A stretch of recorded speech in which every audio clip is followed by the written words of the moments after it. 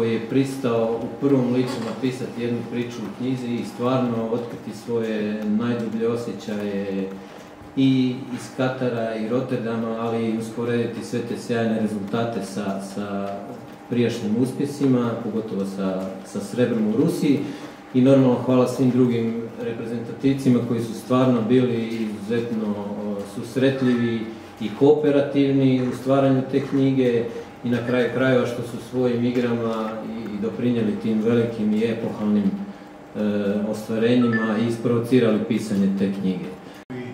Hvala ti na lijepom dijelu na ovoj knjizi koja će biti sigurno veliko štivo za sve one koji vole pratiti reprezentaciju.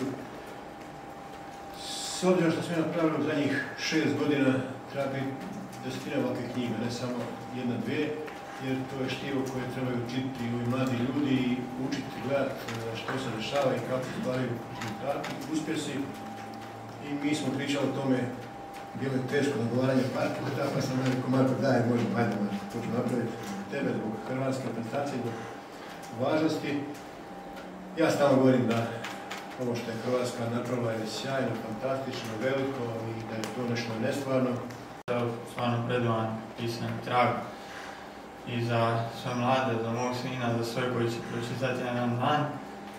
I ovaj, što se tiče tako stvarno bilo, bilo je savršeno radno da sam pisao scenarij, ne bi ga je napisao ovaj, na, hvala Bogu da su pali stranu od Markinja se vjerojatno mnogo leđa pogodila ta lopta pa bi nastavilo još drama biti. Ali eto, sam se presretan da sam omogućio sreću, ja i moj svoj igrač bez njih naravno ništa nije moguće i zborniki svi skupa koji smo bili tamo. Rekao opet ponovo da rekao ko je očekivao. E, prvenstveno što se tiče ove knjige, želim čestitati Marku, poznam ga već godinama još iz, Rijeke i stvarno se veselim da je on taj koji to napisao i da je, ajmo reći, autor te jedne knjige. Možda malo mi je debela knjiga za, školske ove lektire, da se ubaci to unutra, s obzirom da vjerujem da ima sigurno poučnih e, citata, posebno od, e, rekao bi od šefa i, Luke, tako da bi bilo interesantno možda ovaj, pogurati to u ove školske lektire, kad već pričamo o knjizi. Hvala ti lijepo.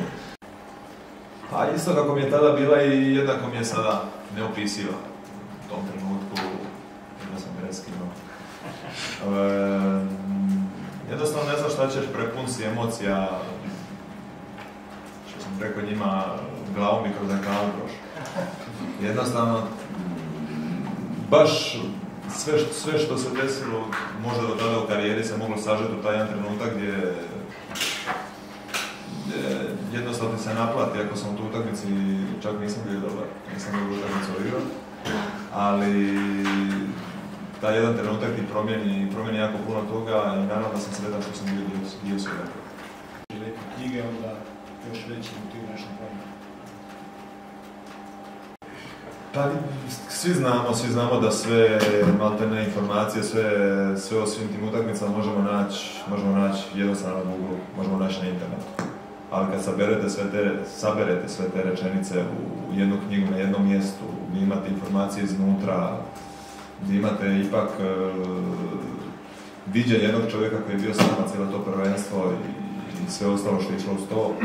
Jednostavno nešto što vam omogući da proživite to, proživite to puno dublje nego, nego samim klikom po ekranu. Tako da nisam je ni ja pročito, ali savjetujem svima, pogotovo, pogotovo mlađim generacijama da da, da uvide malo, da vide kako, kako to zapravo sve izgleda i koliko je tu jako puno toga potrebno da se dođe do onoga što vi vidite samo na terenu.